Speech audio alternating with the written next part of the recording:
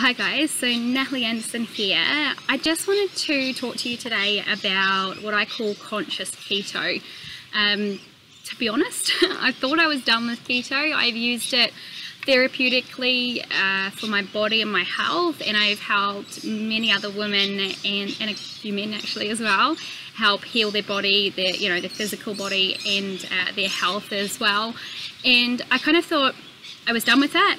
you know, like what's next? So I'd been looking at lots of other different ways to heal the physical, the mental, the emotional body.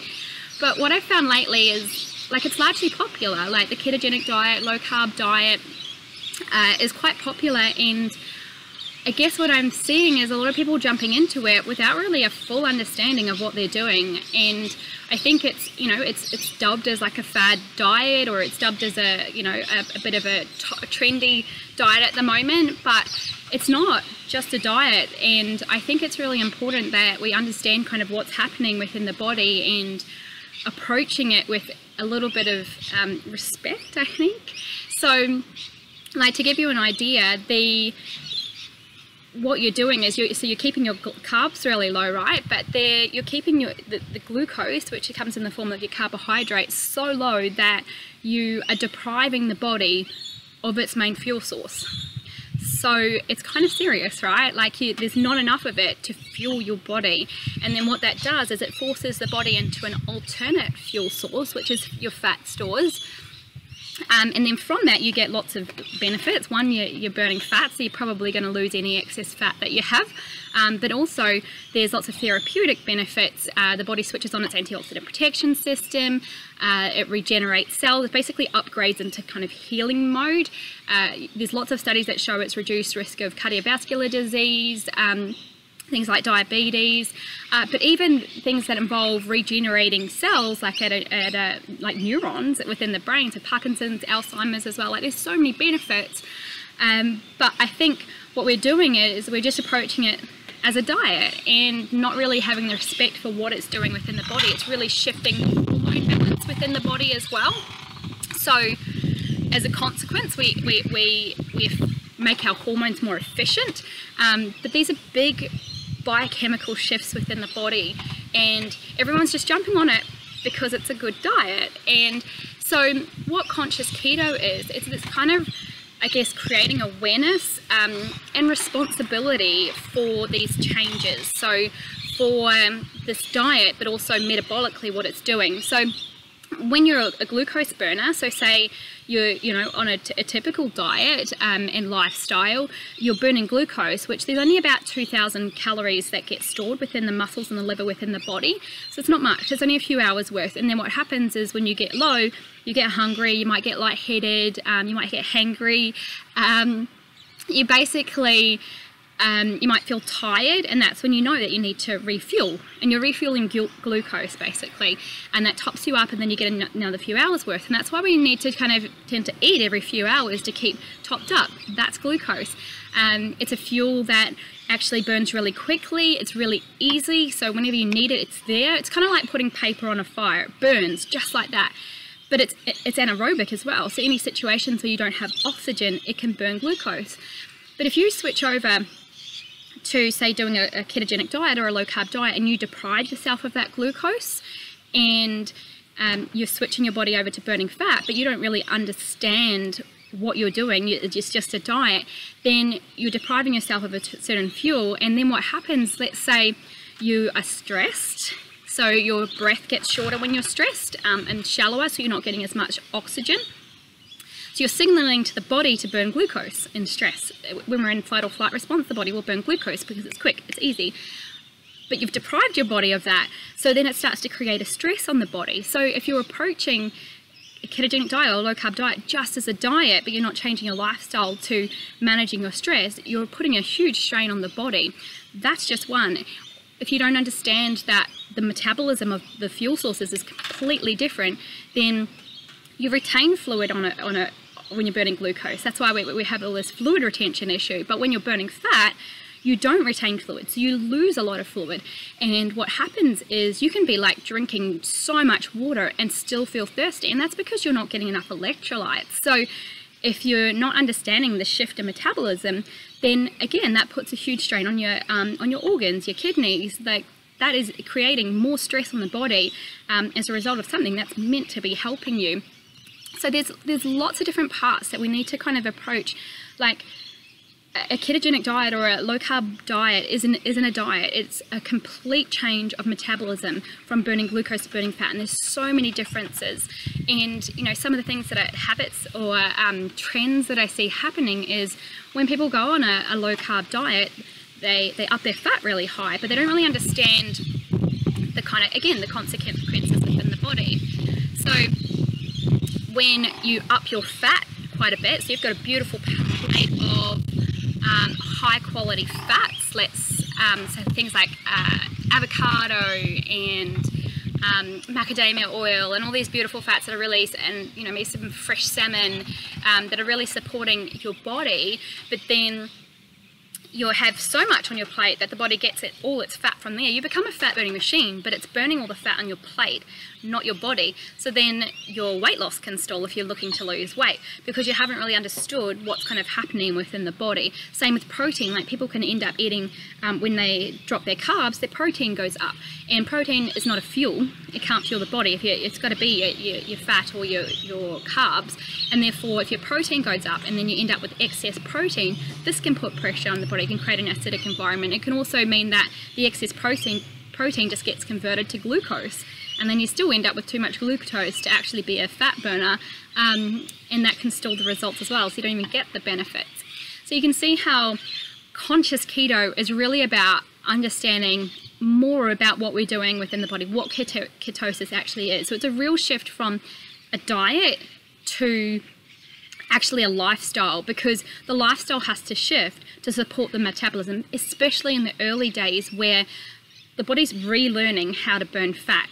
Another example is sleep. Like if you're not getting sufficient sleep, the body will burn glucose when there's insufficient sleep because it's the paper on the fire. It's really quick and it's easy to burn.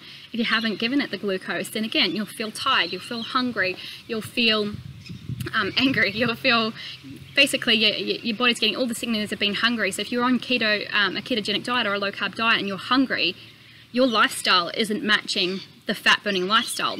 Fat metabolism needs oxygen. Like it needs oxygen in order to, to be a fuel for the body. You must get oxygen. So that's same with exercise, the type of exercise. If you're doing like boot camp or, or boxing while you've just started a ketogenic or low carb diet, again, the body doesn't have the fuel that it needs because it burns glucose in those environments. It needs a quick fuel that's going to go like that. So it's understanding like the whole big picture. When you're burning glucose, one of your side effects um, of glucose metabolism and things like lactic acid, it's very acidic. You get that buildup within the body. The side effect of burning fat is ketones, which can be used. That's why it's called a ketogenic diet. And these little molecules, they're anti-inflammatory. So if you if you've got like an autoimmune condition or an inflammatory condition, absolutely, this is a fantastic way to support the body healing, get your inflammation down, um, reduces pain. Like pretty much, I'd say everyone that I've worked with, their pain's gone. Um, when they're getting the body into a state of ketosis. Um, but it's, again, understanding like what you what you're doing. So it takes a certain level of commitment. It's not just about going. I'm just going to try this new diet because it's kind of scary that we're just kind of going. I'm just going to try this new diet. It's not like the diets you've done before. It's literally changing changing the metabolism of the body and we're really um, not respecting the seriousness of that and that can really cause a strain on our body on our livers um, our kidneys our um, our gut if we're not really approaching it from a holistic perspective and a place of consciousness or whole understanding. Um, same with sugars, like I've seen lots of people on a ketogenic diet, you can have artificial sugars on a ketogenic diet. That doesn't mean it's helping your body. It can be a great gateway, like a way of keeping your sugars low initially until the body stops craving them and then you can kind of come off them. But if you're using them all the time, there's so much research that links it into different um, cancers and different conditions within the body and I think we still uh, haven't even researched enough to fully understand the scope of these artificial sugars. Our bodies aren't designed to hold artificial things within them. Um, and to me, like a conscious keto doesn't mean um, total exclusion of carbs. You can use carbs strategically once you understand that, that you've got two metabolisms. Um, you know, it's not, I guess, not two metabolisms, but you've got two fuels that you can use. One is going to be quick and powerful and immediate. So, you know, if you want to sprint down the street, you'll use that's what carbs are for.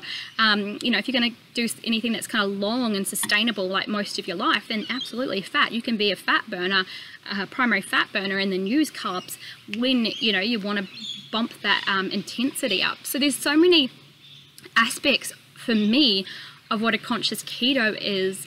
And I think, you know, if we're looking at healing our bodies from a place of wholeness, not quick fixes, because that's what diets have been in the past, um, it's a quick fix. They're not sustainable. You deprive your body of um, its fuel source and you get hungry. And if you don't listen to those cues, the body slows down the metabolism, it um, downregulates the thyroid, so you end up with, you know, problems in the long term. Um, and then basically you've got a slow metabolism and a, a sluggish thyroid, and that's as a result of your dieting behaviors in the past. Well, if we don't approach the ketogenic diet or the, the low carb diet with the same level of seriousness of what we're doing to our biochemistry, our hormones, our organs, then we're going to end up with different issues, um, but issues nonetheless, where anything that we're doing with our bodies, any um, any changes that we're coming, they must come from the right place, not from a place of fear, but coming from a place of wholeness, like integrated, like there is no one size fits all, there is no one fix for any one thing.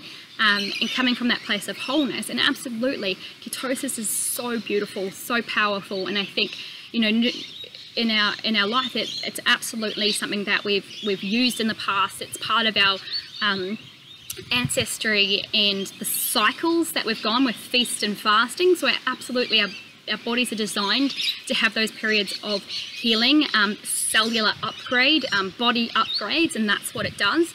But we come with, if we can come from the, the right place, um, with consciousness, with a level of wholeness, and coming from a place of healing, then we're absolutely going to get the most out of the body. You know, you'll increase your energy, no doubt. You'll lose any excess weight that you have for sure. Your brain will be on fire. Your memory will improve. Like I thought I had baby brain, and then as soon as I went keto, like, no, that's gone. Um, so the brain, you know, just starts firing. I think there was one of the um, memory champs over the other side of the world used to go keto before his competitions because it just upregulates his memory. So there's so many benefits, cellular repair within the body. Um, it absolutely can support the gut if done right. Um, so there's absolutely an amazing opportunity for, for healing, but it just must come from wholeness. Um, and consciousness and once we have that awareness we can take full responsibility for our health and we can absolutely have the benefits um, of living, you know, with control over our bodies again, light and free. Um, so that's it for me. And if you have any questions, let me know. It's certainly why, you know, I thought I was done with keto, but I ended up creating a whole conscious, this, this conscious keto program basically to create, shine a light on what keto really is, um, but come from a place of healing you know even with when we're looking at you know what dairy and meat you know people just suddenly switch over to burning um, you know eating lots of meat and eating lots of dairy but you know it bumps insulin up for a lot of people as well and it, it slows the process meat and um, dairy often have lots of hormones and chemicals. So how can we approach our nutrition ethically as well in a way that's whole healing? So that's it for me. If you have any questions